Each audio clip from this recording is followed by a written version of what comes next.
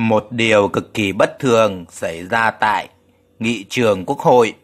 Đó là sáng ngày 25 tháng 5 năm 2018, giữa lúc Quốc hội thảo luận ở hội trường về kinh tế, xã hội. Song đại biểu Nguyễn Văn Cảnh, tỉnh Bình Định là người giành được quyền phát biểu đầu tiên, đã đề nghị cần có luật phòng chống phản bội Tổ quốc.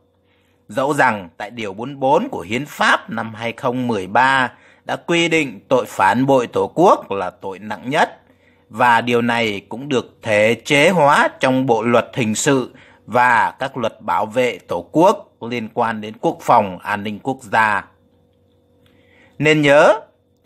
tại Đại hội Đảng 12, Bí thư Bình Định Nguyễn Văn Thiện, nguyên Ủy viên Trung ương Đảng, nguyên Bí thư tỉnh ủy Bình Định, nhiệm kỳ 2010-2015 đã từng đứng lên nói thẳng với Tổng Bí thư Nguyễn Phú Trọng hết sức mỉa mai là Bác già rồi, bác nghỉ đi cho người khác làm. Và thời gian còn giữ chức Thủ tướng, ông Ba Dũng cũng đã đưa cậu ấm Nguyễn Minh Chiết gửi về Bình Định để giữ chức Bí thư tỉnh đoàn Bình Định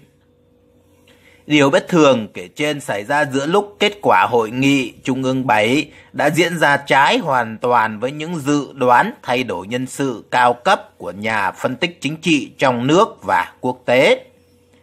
Theo đó, cho đến nay nhân sự Bộ Chính trị đã chính thức khuyết hai ghế. Đó là các ghế của ông Đinh Thế Huynh.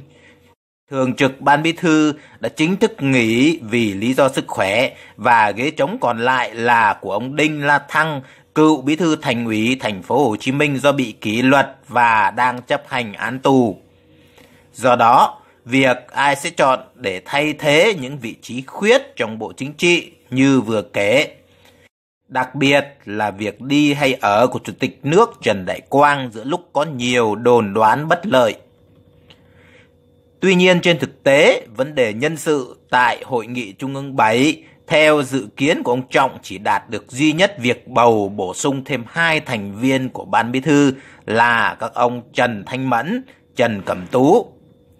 Điều đó rất khác thường và trái với thông lệ hàng chục năm nay của các kỳ hội nghị trung ương của Đảng Cộng sản Việt Nam. Đó là tất cả các hội nghị trung ương 7 của các đại hội đảng các khóa đều là một hội nghị có tính chất đặc biệt quan trọng được coi là kỳ đại hội giữa kỳ với nhiệm vụ trọng tâm là bàn bạc các vấn đề nhân sự cho kỳ đại hội kế tiếp. Đây có thể coi là sự thất bại toàn tập của Tổng Bí thư Nguyễn Phú Trọng và trưởng ban tổ chức Trung ương Phạm Minh Chính, một cánh tay đắc lực và chủ chốt trong bộ ba Trọng Vượng Chính, đang được coi là làm chủ cuộc chơi đốt lò tôn của ông Trọng. Ngay sau khi hội nghị Trung ương 7 kết thúc, người ta thấy Tổng Bí thư Nguyễn Phú Trọng chỉ tiến hành tiếp xúc cử tri Hà Nội theo thông lệ rồi mất hút. Kể từ đó, ông Trọng đã không hề xuất hiện tại kỳ họp Quốc hội lần thứ 5 khóa 14 cũng như trên truyền thông để đăng đàn với các tuyên bố hùng hồn kiểu lò tôn, củi tươi củi ướt như vẫn thấy trước đây. Tiếp đó, người ta thấy báo Môi trường và Đô thị có bài ảnh về căn biệt thự siêu đẹp vườn đào, Hồ Tây với chú thích là nhà của Bộ trưởng Bộ Công Thương Trần Tuấn Anh. Để sau đó, ít giờ đồng hồ, vẫn báo môi trường và đô thị lập tức có bài đính chính và xin lỗi vì đã đăng ảnh căn biệt thự của Bộ trưởng Bộ Công Thương Trần Tuấn Anh. Thực ra, căn biệt thự nói trên chính xác 100% là của đương kim Bộ trưởng Bộ Công Thương Trần Tuấn Anh vì căn biệt thự nằm lồ lộ ra đó chứ không phải cái kim và chủ nhân của nó không thể giấu hàng xóm và dư luận xã hội được. Vậy tại sao báo môi trường và đô thị lập tức ham hở, có bài đính chính và xin lỗi? Nếu hiểu căn biệt thự của Bộ trưởng Công Thương Trần Tuấn Anh không phải là đích đến của tin động trời này, mà đích đến của nó là một căn biệt thự siêu khủng kế bên mà chủ nhân của nó là trưởng ban tổ chức trung ương Phạm Minh Chính, thì sẽ rõ mục đích. Khi bạn biết rằng Phó Tổng biên tập báo Môi trường và Đô thị là Đại tá Công an, nhà văn Đặng Vương Hưng, từng là Phó Tổng biên tập báo Công an Nhân dân và An ninh Thế giới, thì chúng ta sẽ biết ai đứng sau việc đưa tin bất lợi này đối với phe của Tổng Bí thư Trọng. Trong chuỗi sự kiện này lại có tin nguyên Thủ tướng Nguyễn Tấn Dũng dâng hương Chủ tịch Hồ Chí Minh. Theo đó, kỷ niệm 128 năm ngày sinh Chủ tịch Hồ Chí Minh, ngày 19 tháng 5.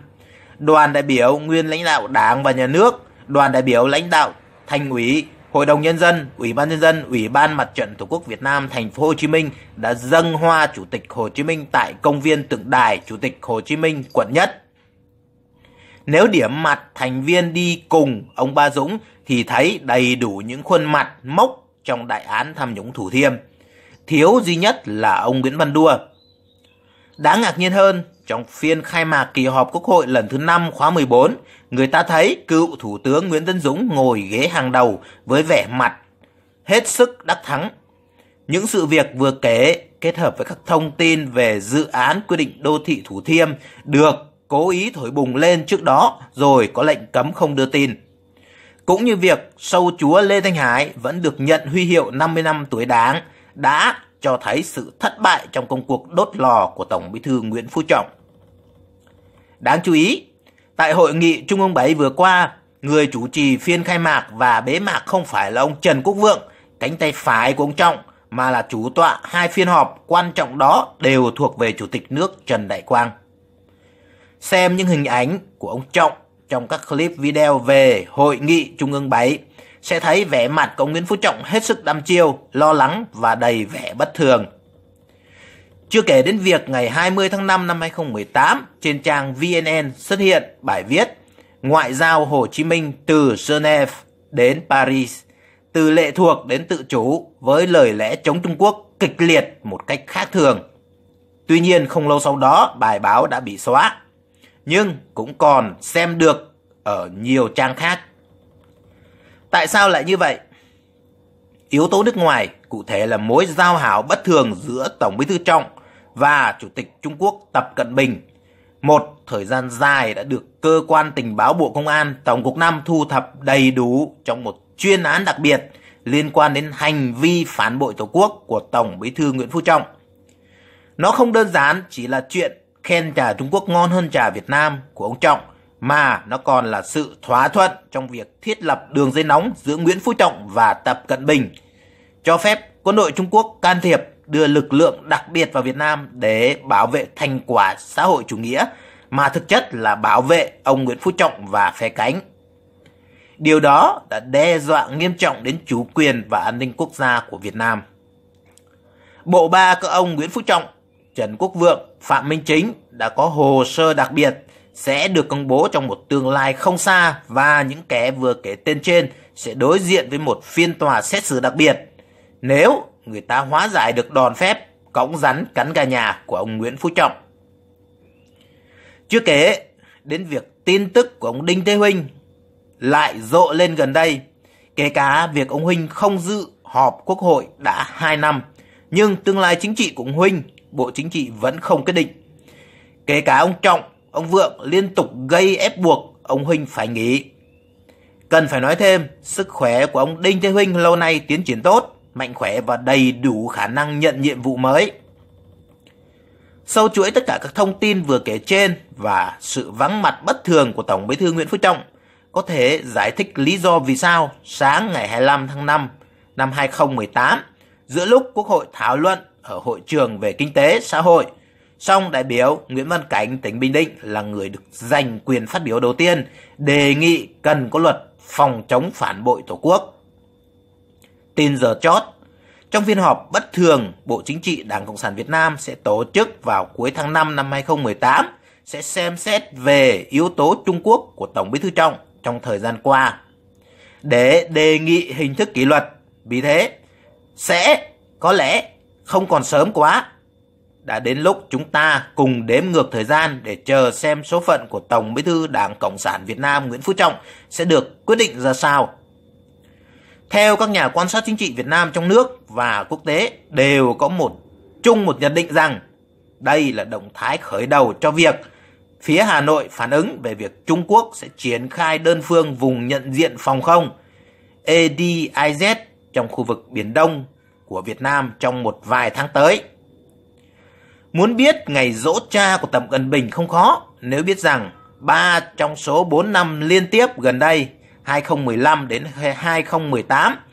Tổng Bí thư Nguyễn Phú Trọng đều tiến hành các chuyến thăm Trung Quốc thường niên vào trung tuần tháng riêng hàng năm.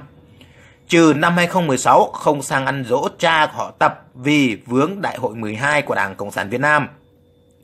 Với lý do Nguyễn Phú Trọng và Tập Cận Bình đã kết nghĩa huynh đệ, trên tinh thần cha huynh cũng là cha đệ.